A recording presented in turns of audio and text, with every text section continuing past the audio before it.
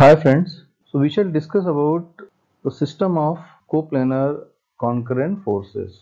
So let me define what is system of coplanar concurrent forces. When all the forces are acting in a single plane and their line of action pass through a single common point, it is called as the system of coplanar concurrent forces. Let's understand this with the help of an example. So we have got a plane here and in this plane let's say we have got force F1, F2, F3 and F4. So if you extend the line of action, they are going to meet at the same point O. So you can see here all these forces F1, F2, F3 and F4, they are in a single plane and their line of action is passing through the same point O. So this is example of a system of coplanar concurrent forces okay? So when all the forces are in the same plane and their line of action is passing through the same common point it is called a system of coplanar concurrent forces. So let's understand how to find the resultant of the resultant of coplanar concurrent forces. So this will understand with the help of an example. So we have got here xy plane and in this plane we have got forces F1, F2, F3 and force F4 and these forces are having their line of action passing through a single common point O. So this is a good example of coplanar concurrent forces. Now here the force F1 makes angle theta 1 with respect to x-axis. So we have to consider the acute angle so F1 is making an acute angle of theta 1. Similarly, F2 is making an acute angle of theta 2 with x-axis. F3 makes an acute angle of theta 3 with x-axis and similarly F4 is making an acute angle of theta 4 with respect to the x-axis. We have shown here all the forces as well as their corresponding angles with respect to x-axis okay. Now we have to find the resultant of the system of coplanar concurrent forces. So we have to find the resultant of this particular system of forces. For that we have to resolve each force along x and y direction. So let's see. So we are resolving force F1 along x direction and y direction. Okay. If you see here this angle is theta 1.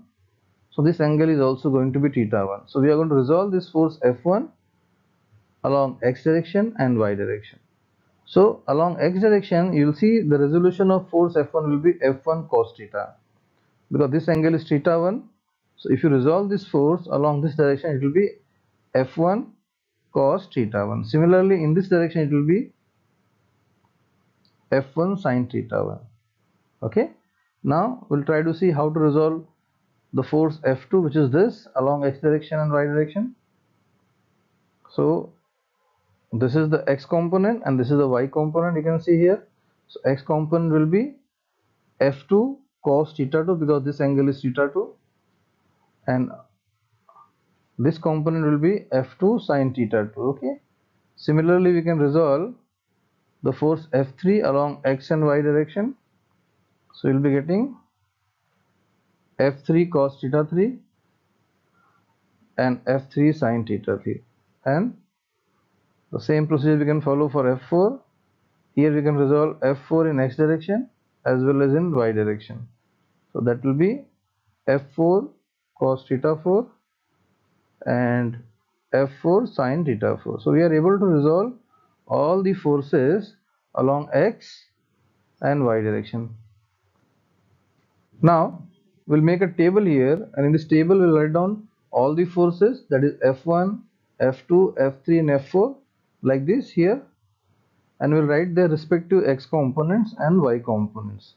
So you can see here we are writing f1 cos theta 1 which is x component of force f1 right?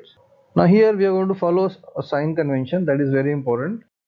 So there is a sign convention for forces. So if the force is acting towards positive direction of x-axis like this in this direction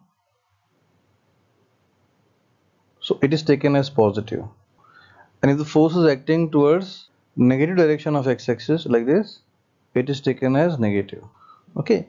So if the force is acting towards positive direction of x-axis in this direction it is taken as positive. If the force is acting towards negative direction of x-axis it is taken as negative. Similarly if the force is acting upward so if the force acts like this in this direction that is positive direction of y-axis it is taken as positive. And similarly if it is acting downward like this it is a negative direction of x-axis it is taken as negative. So there is a sign convention like this. Always remember. So this is going to be positive if force is acting this way. This is also positive. And if it is downward like this it is negative and this is also negative. Okay? So this is the sign convention we are going to follow. So if you look at here this f1 cos theta 1 here f1 cos theta 1 is acting towards negative direction of x-axis this way. So it is taken as negative here. Okay? Now if you see here f2 cos theta 2 so where is f2 cos theta 2 we have here you can see here f2 cos theta 2 this. So this is acting towards right okay? So towards positive direction of x-axis so it is taken as positive okay? Similarly now we have got f3 cos theta 3 so this one is f3 cos theta 3 it is towards right direction. It means towards positive direction of x-axis so it will be taken as positive here. Okay so it is towards right. And similarly if you go ahead and if you see f4 cos theta 4 so here if you see f4 cos theta 4 is acting towards positive direction of x-axis since it is acting in the positive direction of x-axis this is also we have taken as positive. So only f1 cos theta 1 which was acting in the negative direction of x-axis was taken as negative. Remaining all are positive as you can see. Okay? Now let's uh, let's let's see the y components. So this one is y component f1 sine theta 1 so it is acting downward direction. Downward means negative direction of y-axis this is going to be negative. Similarly, f2 sine theta 2 is also negative. f3 sine theta 3 is positive, it is acting upward direction, positive direction of y-axis. And f4 sine theta 4 is acting downward, again negative direction of y-axis. So it is again negative you can see here.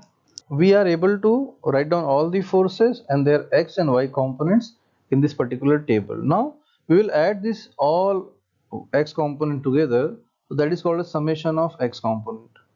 So if you add this up, you will get summation of forces in the x direction. Similarly, if you add these y components, you will be getting summation of y component of forces. So we are able to get the value of summation of x component of forces and summation of y component of forces of this coplanar concurrent system of forces. Okay. Now we'll try to find out the resultant of coplanar concurrent forces. So first thing we'll find is magnitude of resultant of the forces. Okay. So to find magnitude of resultant, it is given as R. So R is the magnitude of resultant force. So it is going to be square root of summation of x component of forces that is summation of fx square plus summation of y component of forces that is summation of fy square so this will give you magnitude of resultant force okay now you would like to find the direction of resultant force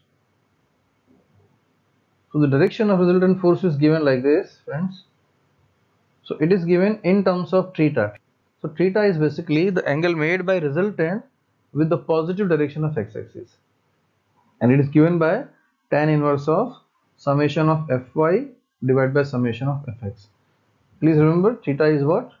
Theta is the angle made by resultant with respect to the x-axis. Okay. So this is how we can find out the resultant in terms of magnitude and direction of the given system of coplanar concurrent forces. We have got the magnitude of resultant force and the direction of resultant force. Now we would like to locate that resultant force here. So if you locate that force, it will come something like this.